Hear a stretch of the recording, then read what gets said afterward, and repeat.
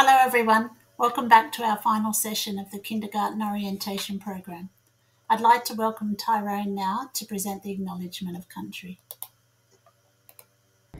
I would like to acknowledge the traditional custodians of this land and pay my respects to the elders both past, present and future, for they hold the memories, the traditions, the cultures and hopes for Indigenous Australia. Thank you, Tyrone. For the final session, we will be answering questions that parents have been sending in. The main one being about the Best Start assessment. This will take place between the 1st and the 3rd of February next year. Each child will be interviewed by a teacher for approximately 40 minutes. This will take place within the school grounds. We will be emailing you at the end of this week to indicate what time you will be asked to bring your child to school for this assessment.